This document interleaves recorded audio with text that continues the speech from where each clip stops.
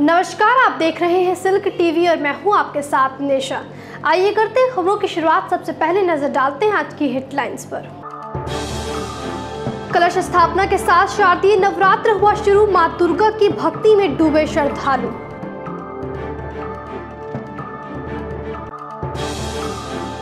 ज़मीन कारोबारी अमरेंद्र सिंह हत्याकांड मामले में दो आरोपी गिरफ़्तार। सिटी एसपी ने कहा, जल्द गिरफ़्तार होंगे सभी अपराधी। नवरात्रि को लेकर गंगा स्नान करने गए तीन युवक नदी में डूबे दो का शव बरामद तीसरे की तलाश जारी। प्रमंडलीय आयुक्त ने सिविल सर्जन कार्यालय का किया औचक निरीक्षण, सीएस पर लगे भ्रष्टाचार के आरोप को पाया सही। और प्लास्टिक रिसाइकलिंग बैंक में बाल श्रम उल्लंघन का मामला आया सामने। अब खबरें विस्तार से। भागलपुर समेत देश भर में वैदिक मंत्रोच्चार और कलश स्थापना के साथ आश्विन शुक्ल पक्ष की प्रतिपदा तिथि के अवसर पर सोमवार को पूरे विधि विधान के साथ शारदीय नवरात्र की शुरुआत हो गई। नवरात्र को लेकर विभिन्न दुर्गा मंदिरों और पूजा पंडालों में विधि विधान से पूजा हुई और सुबह से ही वैदिक मंत्रोच्चार और दुर्गा सप्तशती पाठ शहर में गूंजता रहा, जिससे माहौल भक्तिमय हो गया। शहर के मुंदीचक स्थित वैष्णो दरबार प्रधान डाकघर परिसर स्थित दुर्गा मंदिर। कचहरी चौक मुंदीचक गढ़िया भिकनपुर मिश्रा टोला दुर्गा मंदिर, मिर्जान हाट, दुर्गा मंदिर समेत शहर एवं ज़िले के विभिन्न ग्रामीण क्षेत्रों में भी आस्था और उत्साह के साथ माँ दुर्गा की पूजा कलश स्थापित कर की गई। इस दौरान तमाम मंदिरों में माँ शेरावाली के प्रथम स्वरूप माता शैलपुत्री की पूजा की गई, जहाँ मंदिर के पुजारी और भक्तों ने धूप, दीप फल, फूल और पूजन सामग्री से माता की पूजा की। बता दें कि इस वर्ष कोविड से राहत मिलने के बाद धूमधाम से पूजा के तैयारी में पूजा समिति के लोग जुट गए हैं। वहीं देश भर में हर्षोल्लास के साथ दुर्गा पूजा की शुरुआत हो गई, जबकि शहर में जगह जगह दुर्गा मंदिरों में चल रहे सप्तशती के संपुट पाठ और भक्ति गीतों से पूरा शहर गुंजमान है। इधर नवरात्रि को लेकर शहर के सभी दुर्गा मंदिरों में पंडाल निर्माण का कार्य तेज़ी से चल रहा है। भागलपुर में अपराध और आपराधिक घटना पर अंकुश लगाने में पुलिस प्रशासन विफल नज़र आ रही है। जिसका खामियाजा आए दिन कई लोगों को अपनी जान गवा कर चुकाना पड़ता है। वही बीते दिनों 19 सितंबर को भागलपुर बबरगंज थाना क्षेत्र अंतर्गत सूर्यलोक कॉलोनी निवासी गंगा दयाल सिंह के पुत्र, ज़मीन कारोबारी अमरेंद्र सिंह की कुतुबगंज में अपराधियों द्वारा की गई हत्या मामले में पुलिस ने दो अपराधियों को गिरफ़्तार कर लिया है। इसको लेकर सिटी एसपी स्वर्ण प्रभात ने प्रेस कॉन्फ्रेंस कर हत्याकांड और अपराधियों की गिरफ्तारी से जुड़ी जानकारी दी। प्रेस कॉन्फ्रेंस में सिटी एसपी स्वर्ण प्रभात ने बताया कि हत्याकांड को अंजाम देने के बाद एसएसपी बाबूराम के निर्देश अनुसार टीम गठित कर मामले की जाँच और अपराधियों की गिरफ्तारी के लिए धरपकड़ तेज की गई, जिसमें पुलिस ने घटना में संलिप्त अभियुक्त बाबरगंज निवासी अरविंद शाह के पुत्र, राजेश कुमार उर्फ़ रिंकू और बाईपास थाना क्षेत्र खुटाहा निवासी गंभीर यादव के पुत्र विवेकानंद उर्फ़ डिस्को को गिरफ़्तार कर लिया गया है। सिटी एसपी ने बताया कि अमरेंद्र सिंह हत्याकांड मामले में पाँच नामजद अभियुक्त के साथ पाँच अन्य आपराधिक शामिल है। जिसमें से दो की गिरफ्तारी कर पूछताछ जारी है, जबकि अन्य अपराधियों की गिरफ्तारी के लिए पुलिस लगातार छापेमारी कर रही है। उन्होंने बताया कि सीसीटीवी फुटेज, साक्ष्य और तकनीकी अनुसंधान के आधार पर पुलिस घटना की जाँच कर रही है। जबकि इस हत्याकांड में एक पार्षद प्रतिनिधि के शामिल होने की बात भी पुलिस कर रही है। और जल्द ही सभी अपराधियों की गिरफ्तारी कर इस पूरे मामले का खुलासा करने का भी पुलिस ने भरोसा दिया है। साथ ही कहा कि घटना में स्कॉर्पियो और एक कार का इस्तेमाल करने की बात सामने आई है, जिसमें से स्कॉर्पियो को अजीत यादव और कार को उमा यादव चला रहा था। दो तो घटनाओं का खुलासा हम लोग करने जा रहे हैं। पहली घटना 19 सितंबर को बबरगंज थाने अंतर्गत की गई थी। इसमें अमरेंद्र सिंह नामक व्यक्ति की हत्या पाँच नामजद प्राथमिकी अभियुक्तों ने कर दिया था। तत्काल सहायक पुलिस अधीक्षक नगर के नेतृत्व में टीम का गठन किया गया था। उक्त गठित टीम के द्वारा सीसीटीवी फुटेज का अवलोकन किया गया, तकनीकी अनुसंधान और आसूचना संकलन के आधार पर। अप्राथमिकी अभियुक्त राजेश कुमार उर्फ़ रिंकू थाना बबरगंज को गिरफ़्तार किया गया और उनकी निशानदेही पर एक अन्य अप्राथमिकी अभियुक्त विवेकानंद उर्फ़ डिस्को थाना बाईपास की गिरफ्तारी की गई। इन दोनों अपराधियों का स्वीकारोक्ति बयान लिया गया। और सीसीटीवी फुटेज और तकनीकी साक्ष्य के आधार पर नामजद पाँच अभियुक्तों के अलावे तीन और अपराधकर्मियों की घटना में संलिप्त होने की बात प्रकाश में आई है। इस तरह कुल मिलाकर दस अभियुक्तों के द्वारा इस हत्या की घटना को अंजाम दिया गया था। बेगूसराय में शारदीय नवरात्र को लेकर सोमवार को गंगा स्नान करने वालों की भारी भीड़ गंगा तटों पर उमड़ी रही। वहीं इस दौरान अलग अलग गंगा घाटों पर स्नान करने पहुँचे तीन युवक के डूब जाने की भी खबर सामने आई है। जिसमें से स्थानीय लोगों एवं गोताखोर की मदद से दो युवक का शव गंगा नदी से बरामद कर लिया गया है, जबकि एक युवक की तलाश जारी है। बताया जा रहा है कि पहली घटना तेघरा थाना क्षेत्र की है, जहाँ पिड़ौली निवासी विनोद शाह का पुत्र अजय कुमार गंगा स्नान करने के दौरान गहरे पानी में चले जाने के कारण डूब गया, जिससे स्थानीय लोग और गोताखोर के प्रयास से बाहर निकाला गया, लेकिन तब तक उसकी मौत हो चुकी थी। वहीं दूसरी घटना बछवाड़ा थाना क्षेत्र के झमटिया गंगा घाट की है, जहाँ समस्तीपुर पुसैया निवासी अंकित कुमार गंगा स्नान करने के दौरान डूब गया, जिससे उसकी मौत हो गई। हालाँकि स्थानीय लोगों ने काफ़ी प्रयास कर अंकित को नदी से बाहर निकाल कर इलाज के लिए स्थानीय अस्पताल भेजा, जहाँ चिकित्सकों ने युवक को मृत घोषित कर दिया। इसके अलावा एक अन्य घटना चकिया थाना क्षेत्र के सिमरिया गंगा घाट की है, जहाँ नवरात्र को लेकर बिहट नगर परिषद किउल वार्ड नंबर 19 निवासी प्रेम शंकर शाह का पुत्र मनीष कुमार स्नान करने के दौरान गहरे पानी में चले जाने से डूब गया। जिसके बाद एसडीआरएफ टीम और स्थानीय लोगों के द्वारा मनीष की काफ़ी तलाश की गई, लेकिन युवक का कुछ भी पता नहीं चल सका। बहरहाल घटना से गहरे सदमे में घिरे मनीष के परिजन अभी भी अपने लाल की एक झलक पाने को गोताखोर टीम से आस लगाए बैठे हैं। पूर्णिया के प्रमंडलीय आयुक्त ने सिविल सर्जन कार्यालय का निरीक्षण किया, जिसमें आयुक्त ने Purnia civil surgeon doctor S K Verma पर लगे भ्रष्टाचार के आरोप को सही पाया। निरीक्षण के बाद प्रमंडलीय आयुक्त ने सिविल सर्जन के खिलाफ तीन सदस्य कमेटी बनाकर जाँच करने और तीन दिनों के अंदर रिपोर्ट देने का निर्देश दिया है। वहीं इसको लेकर आयुक्त गोरखनाथ ने बताया कि सिविल सर्जन द्वारा गलत तरीके से नियमों को ताक पर रखकर अपने सगे संबंधियों को निविदा आवंटित किया गया। आयुक्त ने कहा कि दवा के आवंटन, मोबाइल एंबुलेंस के आवंटन जैसे कई मामलों में अनियमितता पाई गई है। जबकि जाँच में अगर बातें सत्य पाई जाती है तो सिविल सर्जन के खिलाफ एफआईआर दर्ज कर विभाग और कानून के तहत कड़ी कार्रवाई की जाएगी। बता दें कि पिछले दिनों Purnia CS doctor S K Verma पर भ्रष्टाचार का आरोप लगा था, जिसकी जाँच करने स्वयं आयुक्त पहुँचे थे, जहाँ कई गड़बड़ियाँ देखकर प्रमंडलीय आयुक्त ने नाराज़गी जताई। तो कुछ संचिकाएँ जब मैंने देखी तो वैसा पाया गया कि कुछ क्रय की संचिका में जो वित्तीय नियम है उसका अनुपालन नहीं किया गया है। तो उसी में एक बाइक एंबुलेंस के क्रय की संचिका को मैं देख रहा था तो उसका एग्रीमेंट में नाम अमन वर्मा था।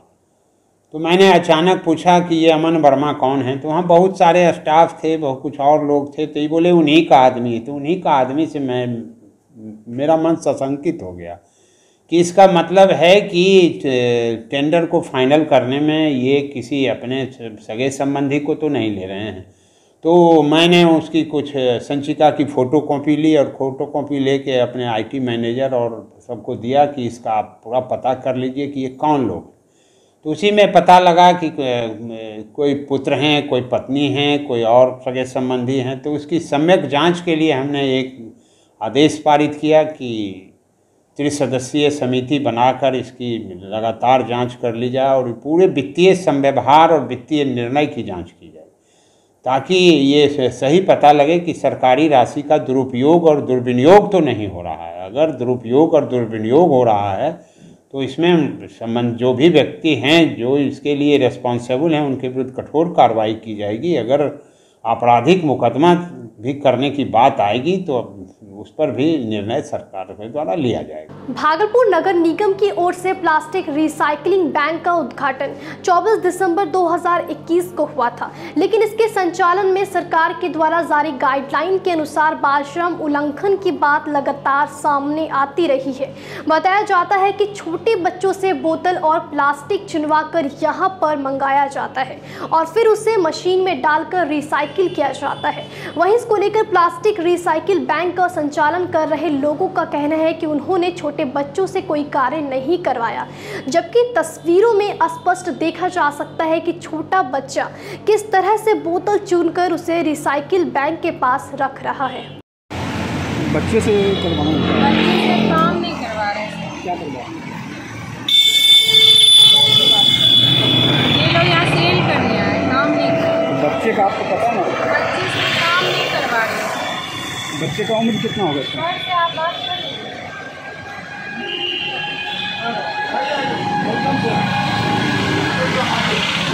बच्चे से काम करवाएगा हाँ बच्चा नहीं काम कर रहा। कौन? बच्चा का काम कर रहा है। अरे वो अभी वो यहाँ का लेकर के आया वो यहाँ का है। सामान लेके आया। तो आप लेने का आदेश ले लेते हैं? हाँ? ले लेते हैं बच्चे से? बच्चा थोड़ी लेके आया है। आदमी आया उसके साथ आया वो। कहाँ है वो आदमी? आदमी अभी गया भाई। अभी कलेक्शन के लिए गया हुआ है।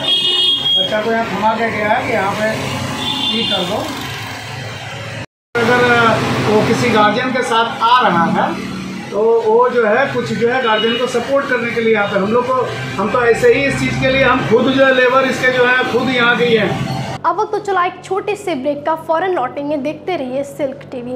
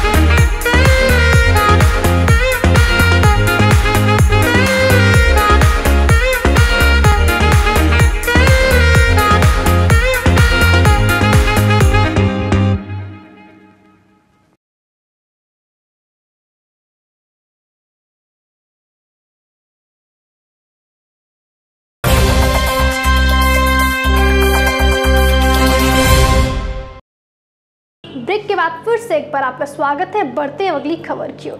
भागलपुर के तिलका मांझी स्थित एक विवाह भवन में बिहार राज्य प्रारंभिक शिक्षक संघ की बैठक आयोजित हुई।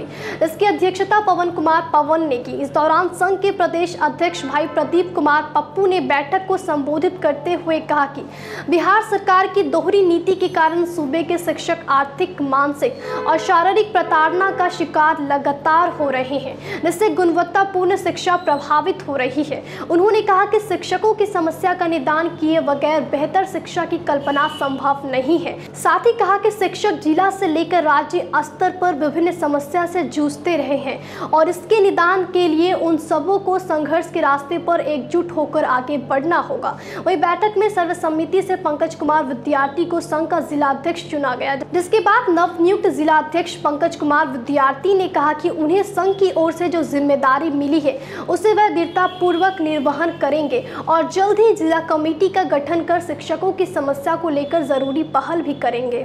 भागलपुर के चंपानगर स्थित एमटीएन घोष रोड लेन में महाराणा पूजा समिति द्वारा दुर्गा पूजा के अवसर पर सोमवार को पहली पूजा को ही कष्टहरणी माता रानी की प्रतिमा स्थापित की गई। पूजा समिति के आयोजक राजू महाराणा ने बताया कि वर्ष 2001 से ही हमारे यहाँ माँ दुर्गा की पूजा होती आ रही है। पहली पूजा को ही माता रानी का प्राण प्रतिष्ठा कर दिया जाता है।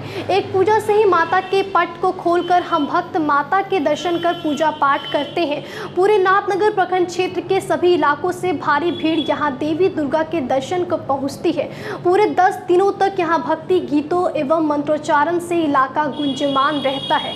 कष्टहरणी माता रानी की विशेषता को बताते हुए महाराणा परिवार के सदस्य प्रतीक महाराणा ने बताया कि जब से इस इलाके में कष्टहरणी माता रानी की पूजा की शुरुआत हुई है, तब से लेकर आज तक माता रानी की कृपा से कोई कष्ट दुख समाज में नहीं है। मौके पर नरेश महाराणा शंकर, महाराणा संजय महाराणा राखी राज पायल समेत कई लोग उपस्थित थे।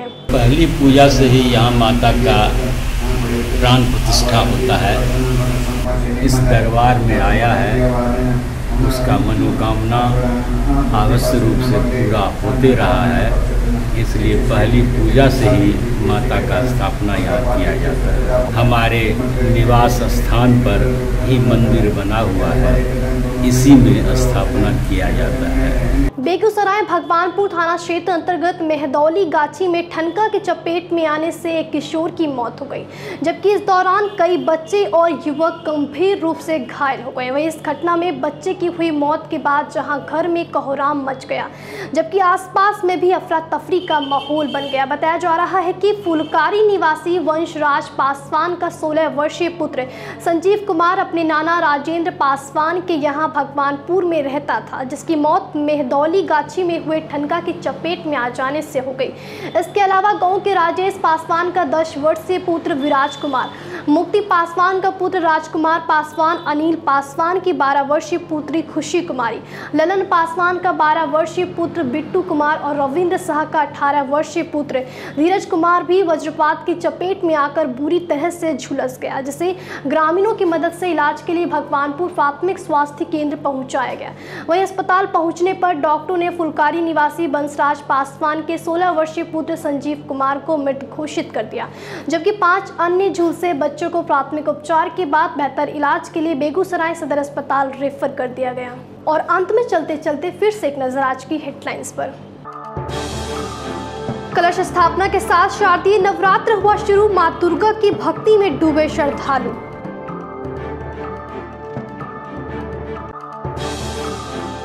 ज़मीन कारोबारी अमरेंद्र सिंह हत्याकांड मामले में दो आरोपी गिरफ़्तार। सिटी एसपी ने कहा, जल्द गिरफ़्तार होंगे सभी अपराधी।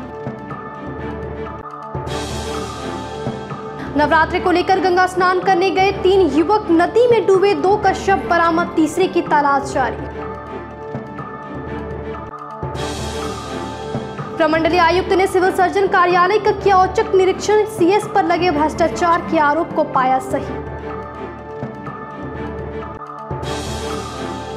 और प्लास्टिक रिसाइकलिंग बैंक में बाल श्रम उल्लंघन का मामला आया सामने। फ़िलहाल इस बुलेटिन में इतना ही। नमस्कार।